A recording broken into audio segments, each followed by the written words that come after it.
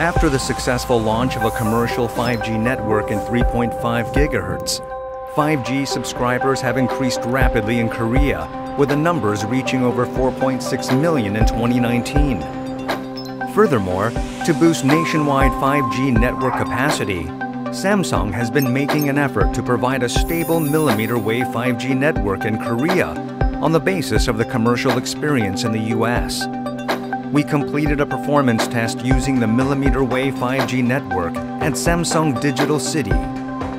Samsung implemented its latest 5G access unit and two test devices equipped with the latest modem chipset to test downlink throughput with 800 MHz bandwidth and multi-user MIMO. Through the test, Samsung achieved 8.5 gigabps speeds by aggregating the throughput of the two devices and successfully verified the world's first eight-component carriers, multi-user MIMO technology.